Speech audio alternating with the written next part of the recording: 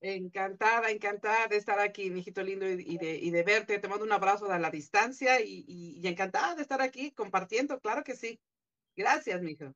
Al contrario, gracias por estar con nosotros. A ver, doctora, háblanos de, de la pérdida. ¿Qué es una pérdida? ¿Qué podemos considerar una pérdida desde el punto de vista científico, como tú lo manejas como psicóloga? Bueno, yo como, como psicóloga y como tanatóloga, fíjate, tanatos es muerte y luego se estudio, pero se entiende como una pérdida, cualquier pérdida. Es decir, sí, de un ser querido, cuando fallece un ser querido, pero también puede ser una pérdida el hecho de que haya un divorcio o que los hijos se vayan o que alguna mascota, una mascota muy amada también se, se vaya, se muera.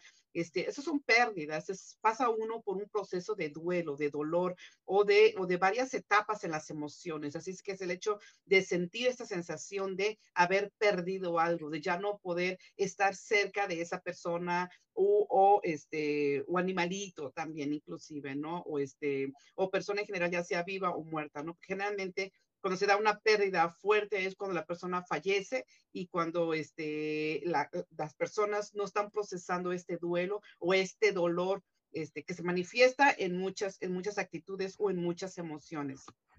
Wow, ok, creo que lo has definido muy bien, lo hemos entendido bastante claro. Ahora, ¿por qué a unas personas les duele más que a otras? ¿Verdad? Por ejemplo, Mira, yo recién perdí, recientemente perdí a mi madre, ya no está acá. Se fue en febrero. Pero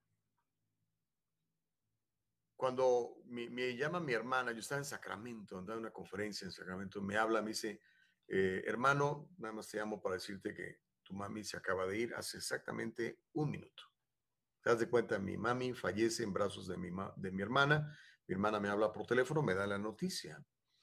Yo había estado esperanzado que mi mamá se, recuperara de una, una, intervención quirúrgica, un infarto que le había dado, pero ya su corazón ya no pudo más, ¿no? Entonces, sentí mucho agradecimiento con Dios, porque, wow, padre, me, me la dejaste casi 88 años, me enseñó muchísimas cosas, me sentí agradecido, pero al mismo tiempo sentí tristeza porque ya no la iba a ver. Dije, ching, ya no la voy a ver, ya no la voy a poder abrazar, ya no le voy a poder decir que la quiero, ya no la voy a poder, poder seguir honrando a ella, voy a poder seguir honrando su vida, pero ya a ella específicamente, ya no. Pero, o sea, no, no experimenté ningún duelo. Hay otras personas que sí. ¿Qué es lo que, qué es lo que hace que unos sintamos una cosa y otros otra? En tu experiencia, ¿qué, qué, qué es lo que determina eso, doctor Aguilar?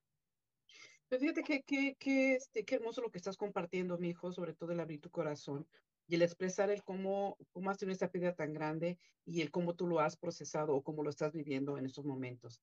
Mm, no es necesariamente que, que las personas eh, vivan siempre o que se caigan al suelo, que lloren y que se enojen y demás se entiende como, como un duelo, que uno va pasando un proceso, ya sea enojo, mucho enojo contra, contra ti mismo, contra Dios, contra los demás, este, culpa también, donde esa culpa, te diciendo, híjole, es que si yo hubiera hecho, si yo hubiera estado, eh, o culpar a los demás, inclusive, es que si el doctor hubiera hecho, si, eh, sin ver más allá, ¿no? Sin ver que, que, realmente tenía que ser así, ¿no? O mucha tristeza, mucho dolor, donde a veces hay personas que se caen en depresión o hacen un duelo muy largo, ¿no? este, o negación, que es a veces hay personas que utilizan esta parte, no lo utilizan a, conscientemente, sino inconscientemente es como un dormir y que fue una pesadilla, o esto no ha pasado, o fingir o tratar de vivir el hecho de que esto no sucedió. Entonces, el, buscar la negación. Entonces, son mecanismos de defensa que uno va llevando de a veces enojo, a veces tristeza, a veces culpa y a veces otra vez tristeza, y así se va cambiando los, los, las formas de vivir. ¿Qué determina esta parte en la que cada uno de nosotros podamos vivir o superar un duelo? Es el hecho de que cada uno pueda tener este crecimiento emocional y espiritual.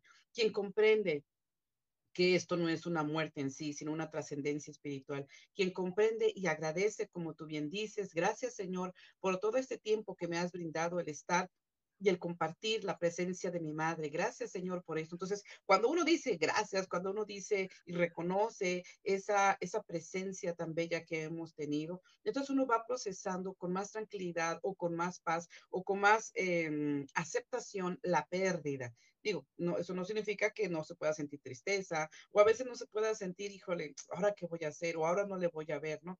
Pero si uno entiende, yo le digo así, un paso de fe, donde vamos a volver a verlos, donde vamos a volver a abrazarles, donde esa persona va a estar eh, siempre viva en nuestro corazón, en nuestros recuerdos, y realmente siempre viva y, y, ella está teniendo ese encuentro amoroso y hermoso, espiritual. Entonces, si uno va, a, a, mm, digamos, afianzándose bien en su fe y en sus emociones y manejando esas emociones de tristeza, enojo dentro de sí, y, entonces uno va superando ese duelo. Así que, ¿de qué depende del crecimiento emocional y espiritual que cada uno de nosotros podamos procesar en nuestras vidas?